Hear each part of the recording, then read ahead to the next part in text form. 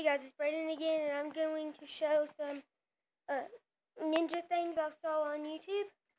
The first thing, I saw a video, but I couldn't remember the same one. I forgot it. I forgot a few steps, but then I made it. It's a paper throwing star. And then I saw from this karate dude that that said that did these uh, flickers right here and flickers and these little arrowhead things. And I'm to show those, I'm to show y'all those and use them. I'm to use them right at the camera. First shot, saw. Sorry, y'all didn't see that, but I'll reach up.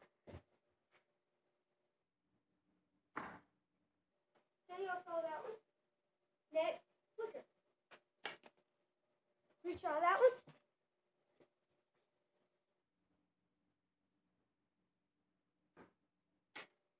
Y'all saw that one. And try this. This one's actually very hard. There's a few ways to do it.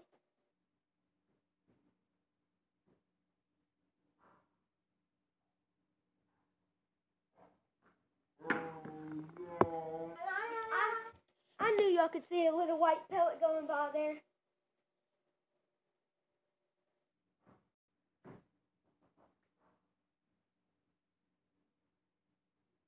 I'm trying three ways I know. That one y'all see, so I just have to read it.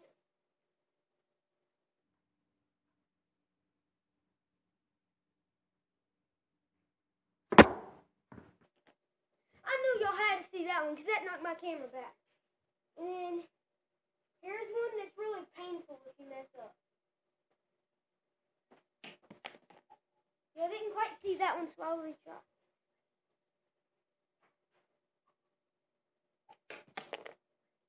Or that one.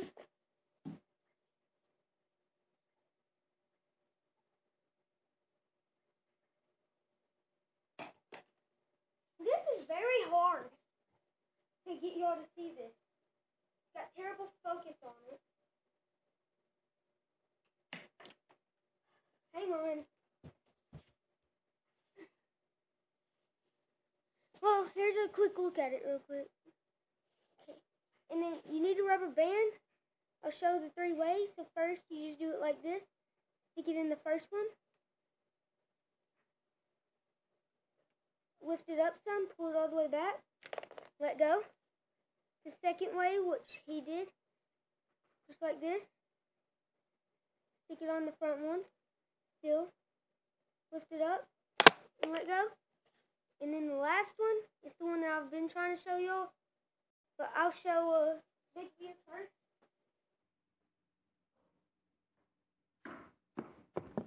Oh, okay. Finally, y'all saw that. And the last one very hard, so you hold it like this. Stick it right here. Pull it back, and as soon as you let go, move your hand down. See? Okay, so those are pretty good. Now, most people would know the Karate Dude to search him, and the one where I learned how to do the throwing star. Um, it's it's a video on like whenever he does it, when he makes it, and you got to do the same fold on a separate sheet of paper. It it'll say same thing.